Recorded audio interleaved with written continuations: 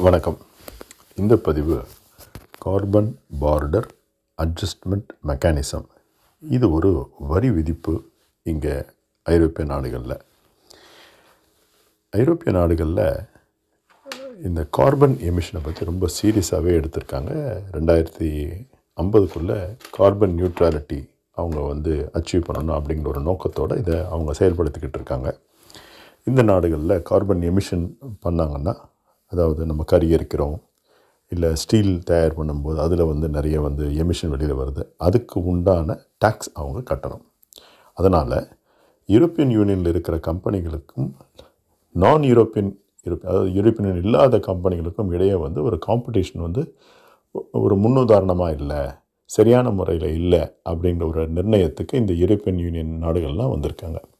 அதுக்காக இந்த October one ரெண்டாயிரத்தி இருபத்தி மூணு அக்டோபர் ஒன்லேருந்து இந்த ஒரு அமைப் இந்த ஒரு வரி இதுக்கு வருது. முழுக்க ரெண்டாயிரத்தி இருபத்தி ஆறில் வந்துடும் இப்போது இதனால் நமக்கு என்ன பாதிப்பு அப்படின்னு பார்த்தோம்னா இந்த வரி முதல்ல எந்தெந்த பொருட்களுக்கு வரப்போகுதுன்னா ஸ்டீல் சிமெண்ட் அயனோர் அப்புறம் வந்து எலக்ட்ரிசிட்டி அலுமினியம் இந்த மாதிரி அதிகமாக எமிஷன் அதாவது சுற்றுப்புற சூழ்நிலையை வந்து கெடுக்கக்கூடிய விஷயங்களை தயார் பண்ணக்கூடிய பொருட்கள் அப்படின்னு சொல்லலாம். அதாவது ஸ்டீல் தயார் பண்ணணும்னா நிச்சயமாக வந்து சுற்றுப்புற சூழ்நிலை மாசுபடும். அதில் ஒன்றும் சந்தேகம் இல்லை இல்லையா? அப்படி பார்க்கும்போது நமக்கு உதாரணத்துக்கு டாட்டா ஸ்டீல் வச்சுக்கோங்க. டாட்டா ஸ்டீல் வந்து நிறைய எக்ஸ்போர்ட் பண்ணுறாங்க அவங்களுடைய ஸ்டீல் ப்ராடக்ட்ஸை இங்கே யூரோப்பியன் யூனியனுக்கு.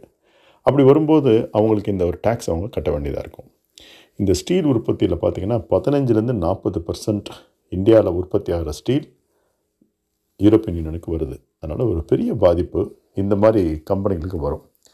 இப்போ இந்த கம்பெனிகளுக்கு இந்த மாதிரி வரி பாதிப்பு அதாவது வரி அதிகமாக கட்ட வேண்டிய ஒரு சூழ்நிலை இருந்தால் அவங்க என்ன பண்ணுவாங்க? அவங்களால அதை எடுத்துக்க முடியாது. அவங்க என்ன பண்ணுவாங்க? அவங்களுக்கு யார் யாரெல்லாம் சப்ளை பண்ணுறாங்களோ அவங்களுக்கெல்லாம் அந்த நீங்கள் உங்கள் விலையை குறைங்க குறைங்க கடைசி நிலையில் இருக்க எம்எஸ்எம்இ யூனிட் வரைக்கும் அந்த ஒரு பாதிப்பு வந்து சேரும்.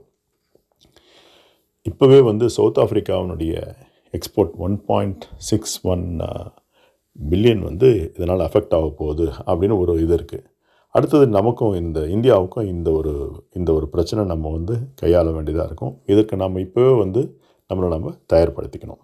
தேங்க்யூ